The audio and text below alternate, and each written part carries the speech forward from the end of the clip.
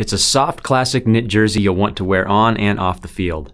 This All-American look is versatile and tag-free for comfort, and its stylish raglan sleeves make for easy movement.